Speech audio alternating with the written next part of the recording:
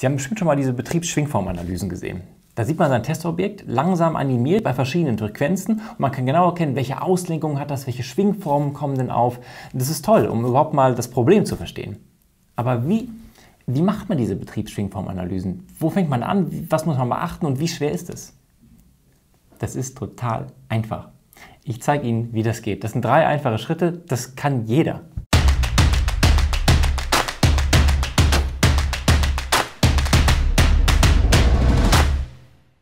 Schritt Nummer 1, die Sensoren applizieren. Dann nimmt man sich am besten erstmal einen Stift und geht zu seinem Messobjekt hin und schaut mal konzentriert sich das Ganze nochmal an, in Ruhe. Und dann sehe ich schon, an welchen Punkten ich sinnvollerweise messe. Also wo kann Bewegung stattfinden, welche Abstände nehme ich da am besten, überall einen roten Punkt setzen und dann nochmal durchnummerieren. Ich werde heute eine Betriebsschwingformanalyse an dieser kompletten Abgasanlage machen und da komme ich mit 13 Punkten ganz gut hin. Diese Punkte kann ich dann noch direkt in ein 3D-Modell übertragen. Ein Modell brauche ich eh zum Schluss zum Animieren, dann kann ich das auch direkt schon machen. Entweder macht man ein einfaches Gitterpunktmodell oder deutlich eleganter und erheblich schneller. Man nimmt einfach ein 3D-Modell, entweder vom Kollegen aus der Konstruktion oder man lädt sich was Passendes aus dem Internet herunter. Dann nimmt man seine Beschleunigungssensoren, sinnvollerweise triaxiale Sensoren, da hat man direkt alle drei Raumrichtungen erfasst und klebt die an die einzelnen Punkte mit einem geeigneten Kleber. Das, ähm, das ist das, was eigentlich am längsten dauert. Die Sensoren werden dann mit dem Frontend verbunden und kurz anschauen, ob sich das auch alles meldet. Ja. Und jetzt kommt die Zuordnung. Das ist in Artemis ganz einfach. Welcher Sensor klebt an welchem Punkt, wie herum und wo ist er mit dem Frontend verbunden? Eins, zwei, drei. Wenn man TED-Sensoren verwendet, ist es noch einfacher. Sensoren anschließen, TEDs auslesen und dann gibt mir Artemis eine Liste aller angeschlossenen Sensoren. Jetzt muss ich nur noch sagen, du da und du dort und du klebst da hinten mit dem Kabel nach unten. Schritt Nummer zwei, die Datenakquise. Die eigentliche Messung geht ja ratzfatz. Man nimmt jetzt einfach den Wagen und fährt auf den nächsten Prüfstand, der frei ist. Die eine Stunde muss ich aber kaum planen. Das, das ist ja der enorme Vorteil von einer mobilen Messtechnik wie das Headlab. Das heißt, ich kann ja wirklich gucken, wo komme ich jetzt noch mal kurz eine Stunde drauf. Ich brauche nur die reine Messzeit lang den Prüfstand. Und wenn jetzt wirklich irgendwie alles belegt ist, weil die Kollegen wieder länger brauchen, dann messe ich halt auf der Straße. Ich bin unabhängig von irgendeiner Prüfstandsplanung. Ich messe, wenn ich soweit bin. Das ist großartig. Wo auch immer. Einsteigen, losfahren. In allen gewünschten Betriebspunkten zeichnen wir einfach vollständige Rohdaten aller Kanäle auf. Akquise abgeschlossen.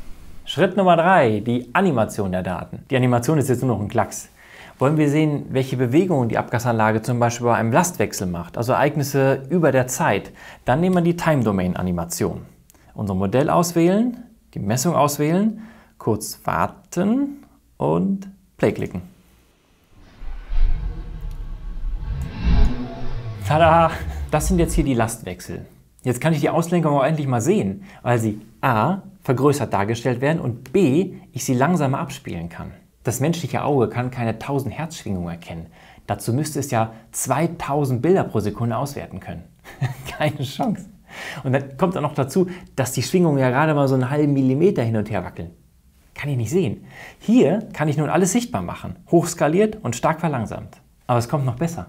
Ich kann mir aus den Messdaten einen konstanten Betriebspunkt herauspicken und dann diesen mithilfe der ODS in seiner einzelnen frequenzabhängigen Schwingformen zerlegen. Tiefenanalyse. Schauen wir doch mal. Hier bei 15 Hertz, also sehr tiefe Frequenzen, haben wir mehr so eine Ganzkörperbewegung. Die wedelt eher wie so ein Hundeschwanz. Oh, jetzt 32 Hertz. Jetzt rappelt es schon beim Mittelschalldämpfer. Das ist eine interessante Schwingform. Die speichere ich mir jetzt einfach mal hier plus Mode Shape. Dann habe ich die schon mal gesichert. Jetzt klicke ich mal bei 62 Hertz. Uh, jetzt trifft es den Frontschalldämpfer. Da ist eine ganz klare Mode an diesem Teil. Das speichere ich mir auch mal direkt ab. Die höchsten Pegel an fast allen Punkten haben wir aber hier bei 77 Hertz. Schauen wir uns das mal an. Oh, was ist das denn für ein Tanz? And he's gonna do the twist and it looks like this. so ein Paralleltwist-Tanz. Sieht man nicht alle Tage. Ich dachte, der wäre auch total out. Aber die höchsten Amplituden haben wir jetzt hier bei 126 Hertz. Schauen wir mal. Uah, anhalten. Das kann schon zu Ermüdungsbrüchen führen. Wenn ich das mal einfärbe, kann man das ein bisschen deutlicher sehen. Ja, der Mittelschalldämpfer hat es echt gerade nicht leicht. Und wir sind gerade noch im Leerlauf. Und so können wir jetzt in allen Betriebszuständen uns neben den normalen Pegelwerten, die ich mir gerne auch so auswerten kann, aber auch zusätzlich mir die Schwingform angucken, das Gesamtbild einfach haben. Und dann ist es viel einfacher zu erkennen, an welcher Stelle ich welche Versteifungsmaßnahme einbringen kann, damit die auch was bringt. Wenn Sie jetzt Lust haben, Ihre letzte Messreihe auch einfach mal zu animieren, ich packe alle Informationen, die Sie dazu brauchen, in die Beschreibungsbox. Das kann jeder. Tschüss. Do you remember when things were really humming. Yeah, let's twist again. Twist and time is here. Bah, bah.